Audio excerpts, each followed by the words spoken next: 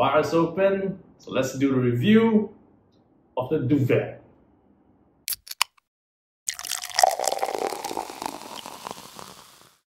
Hey there, SG Alcohol Guy here, making use of my Wines and Spirits certification, which includes a course on beers, to give you honest reviews on the alcohols that I am tasting. And today I'm really excited to try this because I'm having the Duvel Belgian Strong Blonde. And Duvel actually means the devil in Dutch. So if you look at the back, you'll see that you know there's actually a picture of the devil well surfing. And i love how you know the bottle feels in your hand. It just you just grip it really well. Uh, but of course i'm not gonna drink from the bottle.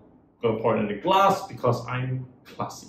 And the classy me got a bottle of the duvel at 650 singapore dollars and for that i get a 330 ml bottle with an 8.5% alcohol content. That's also the reason why I'm really excited to try this Belgian beer. Also, the reason I picked up uh, this bottle is because it came from a viewer request in the comments section from one of the earlier reviews. So, you know, if you have a beer that you're interested in, and I did receive quite a number of requests already, if I can get my hands on this, I'll definitely be buying one for a review. So just want to state that all my reviews are based on my opinions and my personal, you know, taste preferences. Uh, it's not really a standard in the industry, it's just what I feel.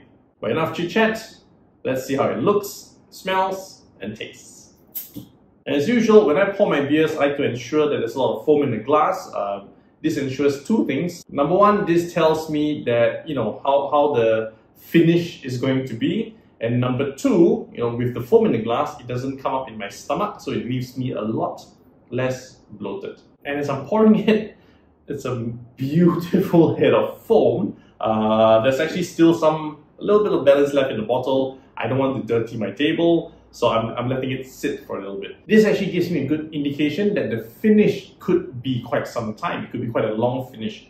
So let's see whether that's true. Color-wise, you know, it's a very cloudy beer. It's like I actually see some sediments um, at the bottom of the glass as well. It's more like an ale kind of beer rather than a lager or a pilsner. I can't really read this language, so I can't tell you exactly what beer it is. You know, so there's not much English in it except for the uh, ingredients, which is water, barley malt, sugar, hops, and yeast. And with that, the smell is actually fruity. It, it has a very nice fruity smell for an ale. Uh, it doesn't have a very bitter, bitter note. It just smells really pleasant and easy on the mouth. In fact, the smell actually lingers in my nostril a little bit. I'm very surprised by that. Loving it so far. But we won't know a beer until we taste it. So taste test.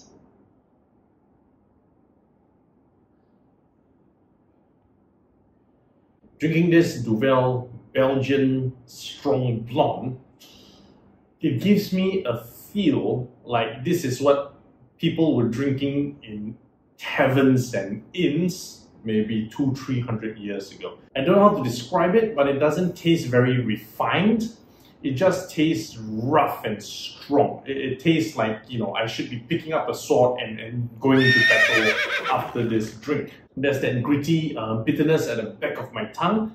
Uh, while I don't smell the bitterness, I don't feel it, I taste it a lot and it's slowly making its way down my throat. It's gradually coming down as well and it's a very enjoyable sensation. Ingredients say that they added some sugar. I think that's just to mitigate the, the bitterness. But hand on my heart, I don't really taste much else around my tongue. Although the malt now is slowly appearing in the middle of my tongue. So there's actually some layers to this beer. It started bitter, finishing bitter. It's still bitter here, but the malt just started to appear and, and manifest in my tongue. So for 650 Singapore dollars per bottle, I'll tell you that this is an excellent purchase. I think I've ordered this once at a local pub, but because I was drinking multiple drinks uh, plus having a lot of greasy food, so I can't really remember the taste.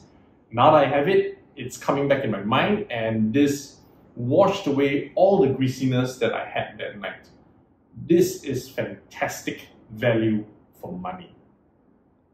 Hey, thanks for watching up to this point. Again, I like to stress that you know this uh, review, this honest review, is based on my personal opinions and taste preferences. So I actually look forward to you leaving your comments and letting me know what you think of the Duvel Belgian strong beer. And since you've made it here, do help me click on the like button, uh, do help me click on the subscribe button and the notification bell as well. What it does is it lets you know uh, of new videos that I have released and I upload two new videos every week.